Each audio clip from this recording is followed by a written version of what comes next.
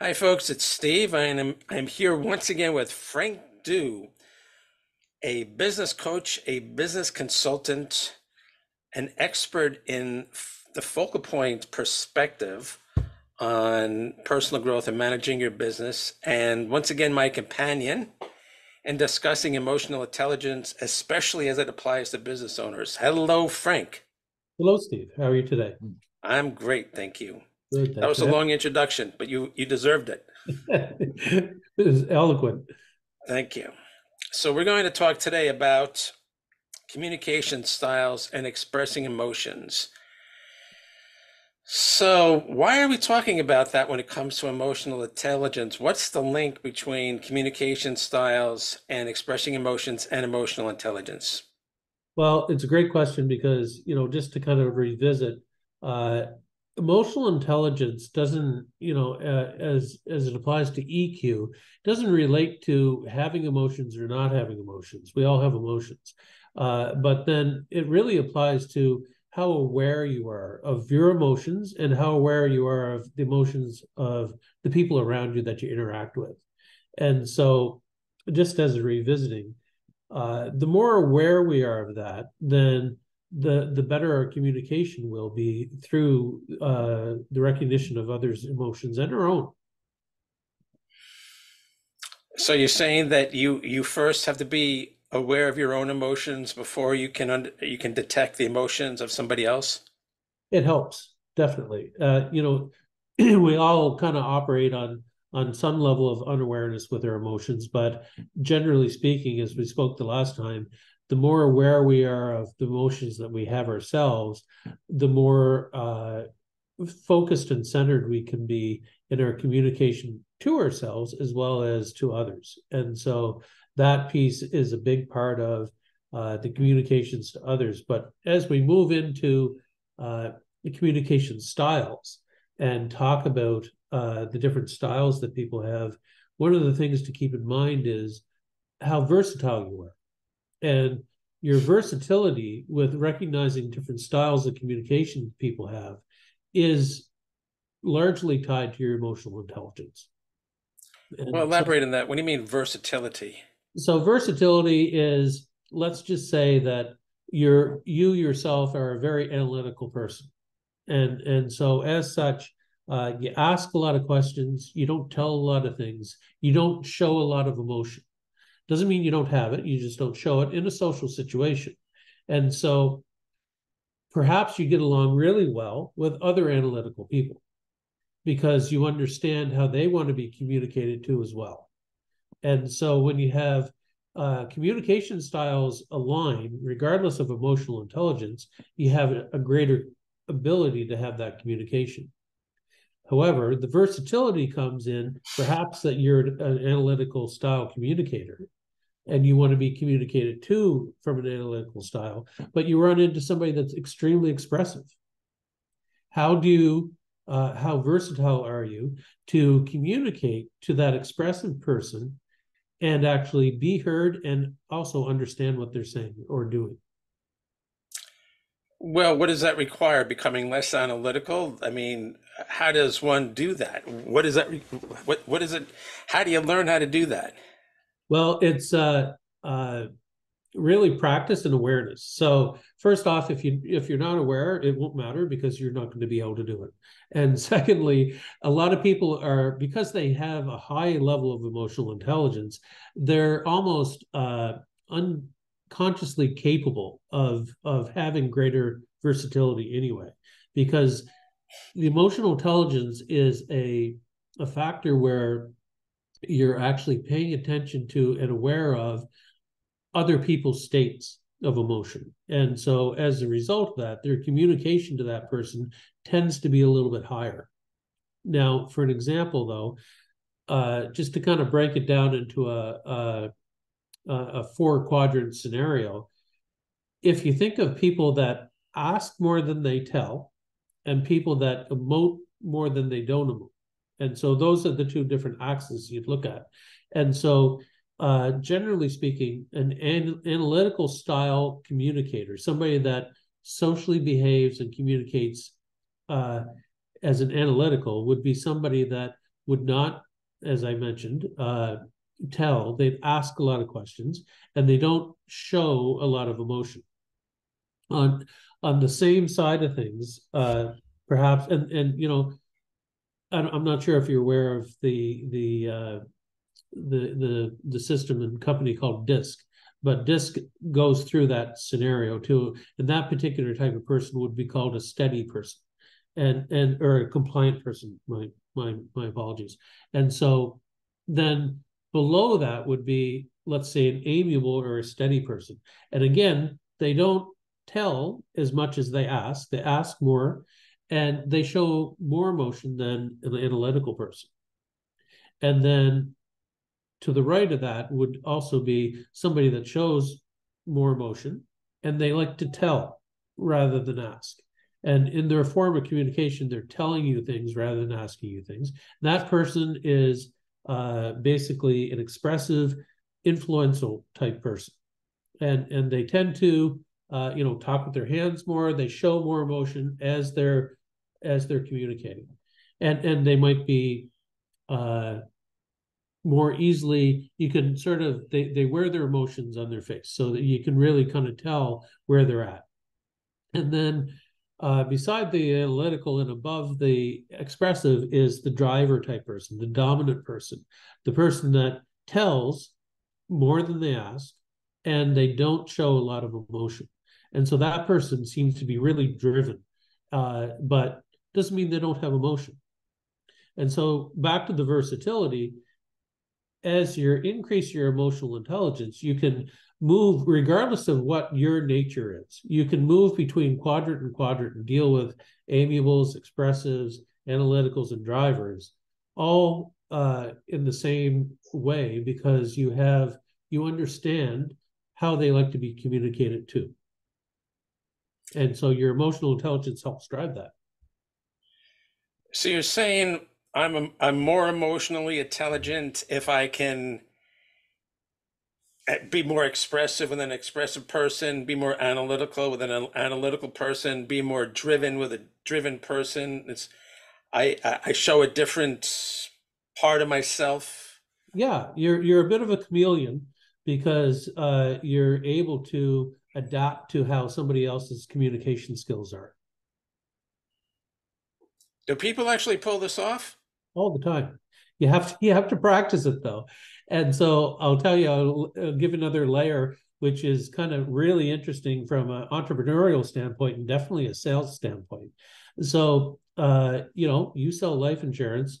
You walk into somebody's house and you sit down, and let's say you're talking to a husband, and the husband is analytical. And so you recognize that based on the fact that he's not showing a lot of emotion and uh, he asks lots of questions because he wants all the information. And and so you go through that and you adapt because you're just you know you're so used to it you're good at what you do. And so you're you're you're working towards the way he wants to be communicated to. And so that shows a bit of versatility because potentially you're not uh, analytical yourself. And so then the wife comes in and his spouse sits down at the table. Let's say she's expressive so, how do you actually sell life insurance to a couple when the uh, husband, let's say, is very analytical and the wife, the spouse, is very expressive, which they're kind of on opposite tracks. And so, you as a salesperson in the middle, how do you understand that? How you become aware of it is part of your emotional intelligence. And then, how do you then communicate to both of them at the same time while giving them the way they want to be communicated and furthering the whole process of actually selling life insurance.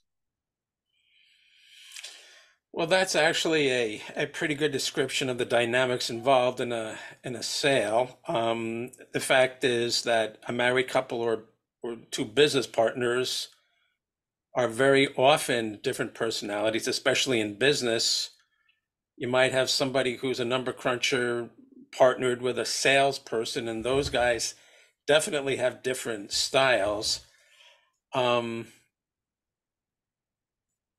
is what I've done is I've often brought out a number cruncher, factual person to do joint work with me, and let that person talk the techno language. um, rather than me doing it my myself. I, you know, it's to a certain point you have to.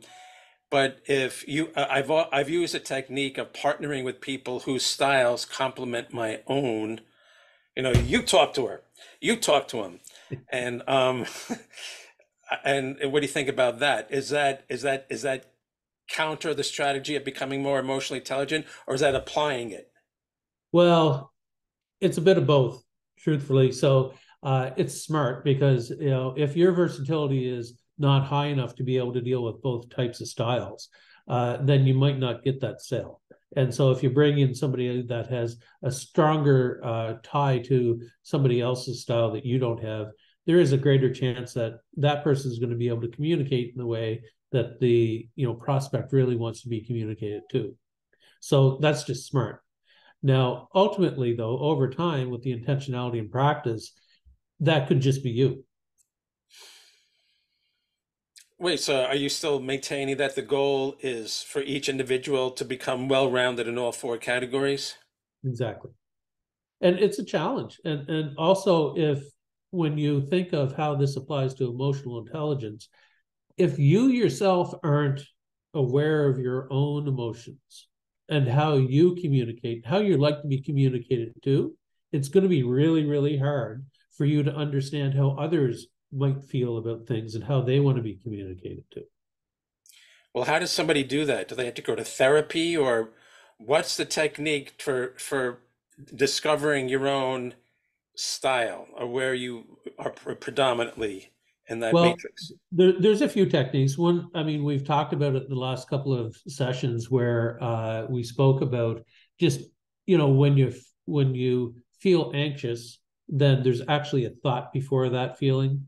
And then when you recognize that you feel anxious, then you can take it back a little bit and understand what that thought was, and then recognize that that thought created a feeling. And that whole process in itself allows you to be more emotionally intelligent because you're aware that you have a thought that generated the feeling in the first place, even if it's an automatic thought.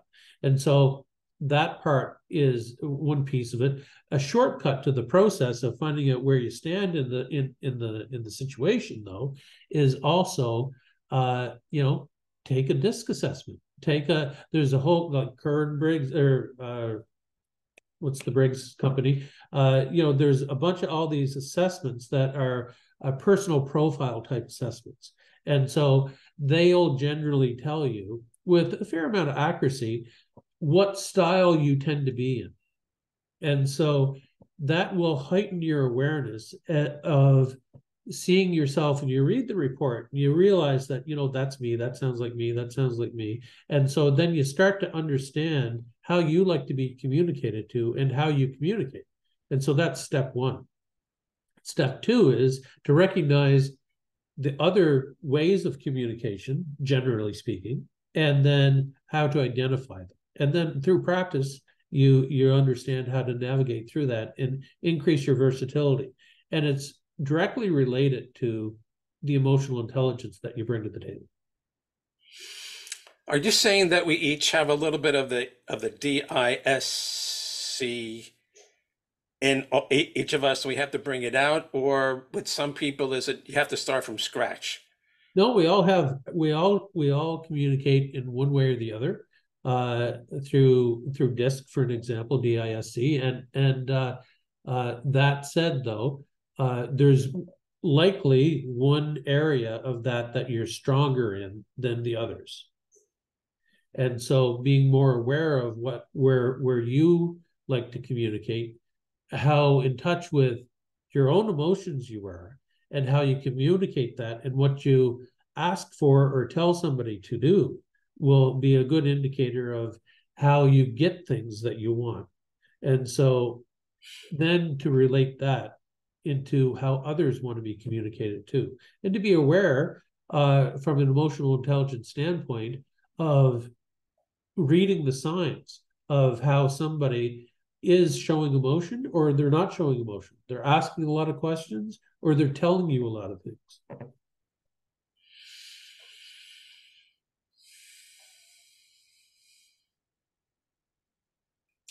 Do we have like a predominant?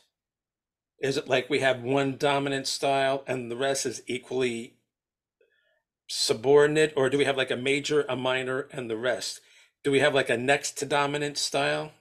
It, it's uh, it- you know, you could break it down. The fact that everybody, almost every, I would say everybody has a piece of each one style in them. Uh, uh, one dominant style will will will drive how they like to generally be uh, communicated to, and and uh, their level of emotional intelligence is attached to that. However, uh, no one style is better than another because we all have emotions if we're aware of them or not. And so uh the the more we're in touch with what our emotions are and what triggers our emotions and how we feel about different things, the more we're able to communicate with others and understand how they want to be communicated to. So there's a couple of different ways to get better at it. Uh, and and the it really all you know I saw I, I spoke to a, a, a psychotherapist uh, quite a few number of years ago, and he told me one thing that really really stands out when it comes to, uh, you know, figuring things out, and and really at the end of the day, it all starts with you.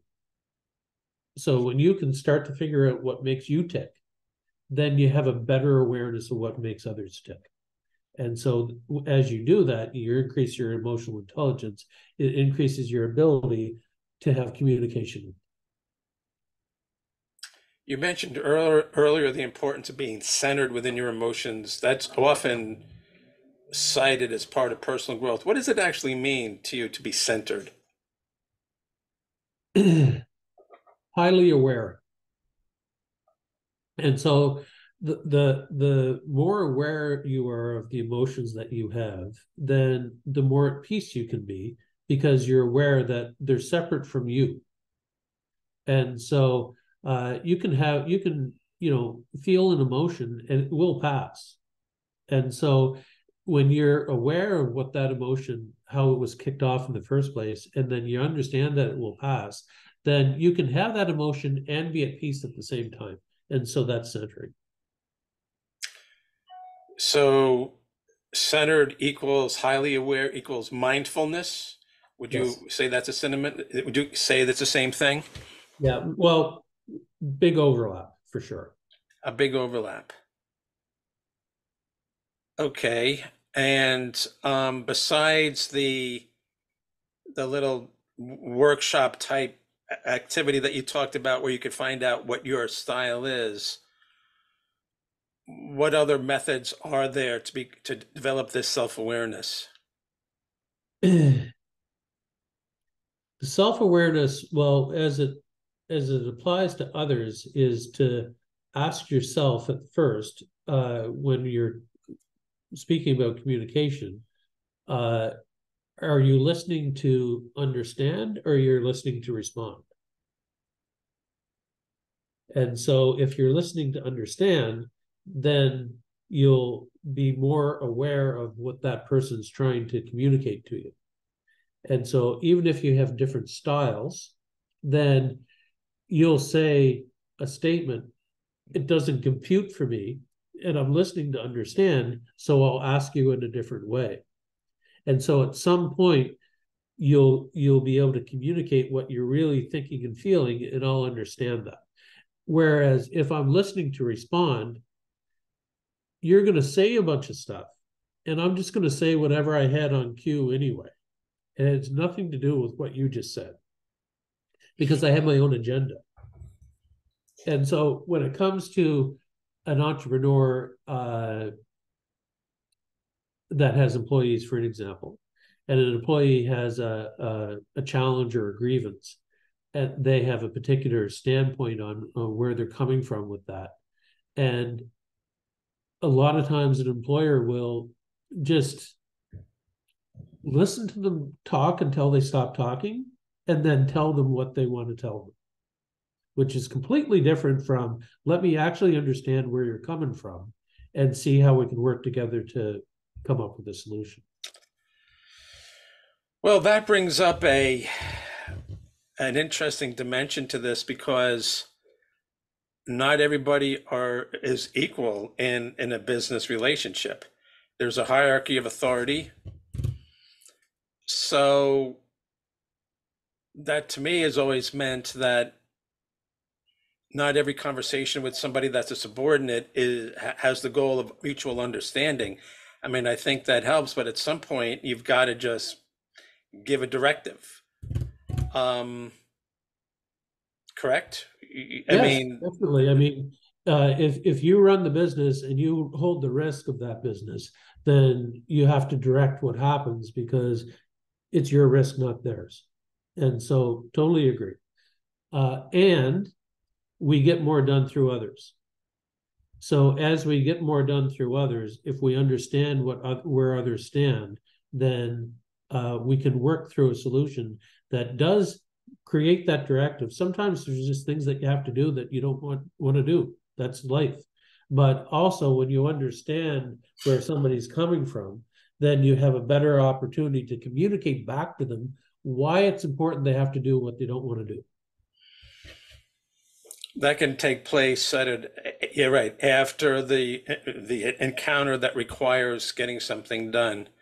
So that's almost talking about um, managers and owners, people that have to supervise others, having a dedicated time for relationship building, uh, as opposed to online, you know, daily supervision. Um, which is, and i- i- when you got to get things done, and that's not the time to become emotionally sensitive unless somebody has a really big problem. Exactly. If there's a task at hand, you have to do the task. I mean, that's what you get hired to do in the first place. Right. I mean, I'm sure you do things you don't want to do every day, but nobody else is going to do them for you, so you do them. Right. Right. And, you know, I've been in plenty of subordinate roles and prior jobs and all this, so I just got to do what I'm told. Okay. Very interesting. Okay. Um, to wrap up, um, what are any last comments or thoughts you have about expressing emotions and communication styles? Well, I mean, we covered a lot of things and we we went in a, a couple of different directions, but I would say that one of the the key aspects is a understand yourself, understand uh, what your emotions are, what triggers your emotions, and uh, to be use to use that awareness uh, to be able to direct yourself before you communicate to others. And so also uh, to increase your awareness of how others are reacting. And so just a basic scenario, are they do you do you hear them telling you a lot of things versus asking you a lot of things? Do they do you notice that they're showing a lot of emotion or not showing a lot of emotion? And that shows you a good way to how they want to be communicated to. And the the better we communicate to the people that we're trying to communicate with, the more results we get. Golly gee, that certainly makes some sense. Um, both in a business work in a workplace, but plus also in home life. I get that. Okay. All right, Frank, you have enlightened us once again with your wisdom. I appreciate that. And um, thank you. And everybody stay tuned because we still have a, the last segment in this series on emotional intelligence. So stay tuned and we'll see you then. Thanks, Steve. Thank you.